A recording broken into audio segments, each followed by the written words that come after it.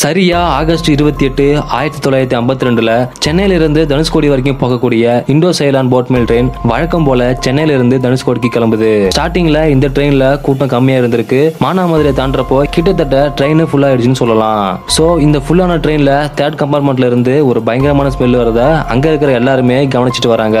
So எங்க இருந்து இந்த ஸ்மெல் வருதுன்னு அந்த கம்பார்ட்மெண்ட்ல இருந்த மக்கள் தேட ஆரம்பிக்கிறாங்க.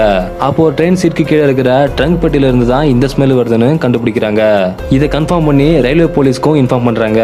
சோ அப்புறம் ரயில்வே போலீஸ் அந்த ட்ரங்க் பெட்டியை வெளியில எடுத்து ஓபன் பண்ணி பாக்குறப்ப தான் ஒரு பெரிய அதிர்ச்சிக்கு எல்லாரும் ஆகிறாங்கன்னு தான் சொல்லணும். என்ன நடந்துச்சு அப்படின்னா அந்த பெட்டிக்குள்ள தலை இல்லாத ஒரு உடலும் வெட்டப்பட்ட கைகளும் கால்களும் உள்ள வச்சு அந்த பெட்டியை மூடி வச்சிருக்காங்க. சோ அதுல இருந்து அந்த ஸ்மெல் தான் பேசஞ்சர்ஸை ரொம்ப டிஸ்டர்ப் பண்ண வச்சிருக்கு. இதை பார்த்ததும் போலீஸ் வந்துட்டு யாருன்னு தெரியாததுனால ஐடென்டிஃபை பண்றதுக்காக அதை அப்படியே வச்சிருக்காங்க. இதே நேரத்துல சென்னையில இருக்கிற ராயபுரம் போலீஸ் ஸ்டேஷன்ல கண்ணன் செட்டி அப்படிங்கிறவரு அவருக்கு கீழே ஒர்க் பண்ற ஒரு பெண் சேல்ஸ்மேன் மிஸ் ஆகிட்டாங்க. மிஸ் ஆகி ரெண்டு நாள் ஆச்சுன்னு சொல்றாரு. சோ இந்த ராயபுரம் போலீஸ் ஸ்டேஷன்ல கொடுத்த மிஸ்ஸிங் கேஸுக்கும் மானாமதுரையில கண்டுபிடிச்ச பாடிக்கும் என்ன சம்பந்தம் அப்படிங்கறத பத்தி தான் இந்த வீடியோல நம்ம பார்க்க போறோம். இந்த வீடியோ செம்ம இன்ட்ரெஸ்டிங்கா இருக்கும். ஸோ ஸ்கிப் பண்ணாம இந்த வீடியோவை ஃபுல்லா பாருங்க. அதுக்கு முன்னாடி நம்ம சேனலை சப்ஸ்கிரைப் பண்ணாதவங்க சப்ஸ்கிரைப் பண்ணுங்க ஏன்னா எங்களுக்கு அப்பதான் அடுத்தடுத்து வீடியோ பண்ண மோட்டிவேஷன் அமையும். வாங்க வீடியோக்குள்ள போலாம். மானாமதுரையில இந்த பாடி கிடைக்குது. இதே சமயத்துல ராயபுரத்துல ஒரு ஆள் ரெண்டு நாளா மிஸ்ஸிங்னு ஒரு கேஸும் ஃபைல் ஆகுது. இதுக்கப்புறமா அடுத்த நாளே ராயபுரம் பீச்ல சிதைக்கப்பட்ட நிலையில ஒரு மனுஷனோட தலை வந்து கண்டுபிடிக்கப்படுது. ஆக்சுவலா அது வந்து பாத்தீங்கன்னா புதைச்சி தான் வச்சிருக்காங்க. அலை அடிக்க அடிக்க வெளியில வந்து கரையோரம் ஒதுங்கி இருக்கு இதை பார்த்ததும் ராயபுரத்துல மிஸ் ஆன ஆளு தான் இந்த ஆளா இருப்பாரோ அப்படின்னு ஒரு கன்ஃபியூஷன் வருது. ஸோ இதனால மானாமதுரையில கண்டுபிடிக்கப்பட்ட அந்த பாடியை சென்னைக்கு அனுப்பி வைக்கிறாங்க. இதை ரெண்டுத்தையும் வச்சு மெடிக்கல் காலேஜ்ல ரெண்டும் ஒத்து போகுதா அப்படின்னு செக் பண்ணி பாக்குறாங்க. ஆரம்பத்துல இது வந்து வயசு மதிக்கத்தக்க ஒரு முஸ்லீமோட பாடியா இருக்கலாம்னு அந்த பாடியை மட்டும் ரிசர்ச் பண்ணவங்க சொல்லியிருந்தாங்க.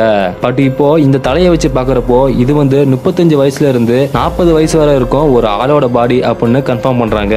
ஸோ ராயபுரம் போலீஸ் ஸ்டேஷன்ல மிஸ்ஸிங் கேஸ் ஃபைல் ஆகி இருந்ததுனால அவரோட ஒய்ஃபை கூட்டிட்டு வந்து கிளாரிஃபை பண்ண சொல்றாங்க.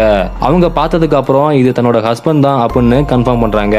கிடைச்ச பாடி அந்த லேடியோட ஹஸ்பண்ட் தான். அவரோட பேரு ஆலவந்தர் அப்படின்னு சொல்றாங்க.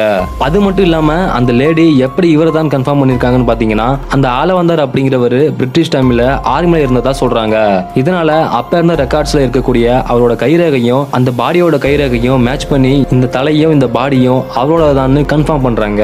இதுக்கப்புறமா விசாரணைலாம் ரொம்பவே ஸ்ட்ரிக்ட் ஆகுது. அவங்க ஒய்ஃப் வந்து என்ன சொல்றாங்கன்னா இந்த ஆலவந்தார் அப்படிங்கிறவருக்கு கல்யாணத்துக்கு முன்னாடியும் கல்யாணத்துக்கு அப்புறமுமே பல பெண்களோட தொடர்பு இருந்தது அப்படிங்கறத அவங்க கன்ஃபார்ம் பண்றாங்க. அது மட்டும் இல்லாம குறிப்பா தேவகி அப்படிங்கிற ஒரு பெண்ணு மேல இவங்களுக்கு சந்தேகம் இருக்கிறதா சொல்றாங்க. காரணம் என்னன்னா இவர் மிஸ் ஆகி ரெண்டு நாள் ஆனதுக்கு அப்புறமே நேரா தேவகி வீட்டுக்கு போய் தான் கேட்டதாகவும் அதுக்கு பதில் சொல்றப்ப அவங்க ரொம்பவே நடுங்கி பயந்து போய் தான் பதில் சொன்னாங்க. அவங்க மேல டவுட்டா இருக்கு அப்படிங்கிற மாதிரி போலீஸ் கிட்ட இன்ஃபார்ம் பண்றாங்க. இதை கேட்ட போலீஸ் உடனே தேவகி வீட்டுக்கு போறாங்க. பட் ஆனா வந்து அவங்க வீடு பூட்டி இருக்கு. பக்கத்துல விசாரிச்சப்போ அவங்க மும்பை போயிருக்காங்க அப்படிங்கறத கண்டுபிடிக்கிறாங்க. இதுக்கப்புறமா இவங்கள ரீச் பண்ணணும் அப்படிங்கிறதுக்காகவே ஒரு தனிப்படை அமைச்சு அங்க போய் கண்டுபிடிக்கிறாங்க. சோ கண்டுபிடிச்சதுக்கு அப்புறமா தான் தெரியுது தேவகி ஆளவந்தார் ரெண்டு பேரும் ரிலேஷன்ஷிப்ல இருந்திருக்காங்க அப்படின்னு தெரிய வருது. சோ இதுக்கப்புறமா அவங்களுக்குள்ள ஏற்பட்ட பிரச்சனைனால தேவகி வந்து அவரை விட்டுட்டு பிரபாகர் மேனன் அப்படிங்கிறவரை அவங்க கல்யாணம் பண்ணி வாழ்ந்து வந்ததாகவும் சொல்றாங்க. பட் என்னதான் கல்யாணம் ஆயிருந்தாலும் ஆள வந்தார் போய் அடிக்கடி அவங்கள டார்ச்சர் பண்ணிட்டே இருந்ததுனால சோ இவர் பிரச்சனை பண்ணிட்டு இருந்ததை எப்படியாவது முடிக்கணும் அப்படிங்கறத நினைச்சவங்க ஆர்குமெண்ட்ல ஆரம்பிச்சு கடைசியா கொலையில தான் போய் முடிஞ்சிருக்கு. அப்புறம் கடைசியா கொன்னும் போட்டிருக்காங்க.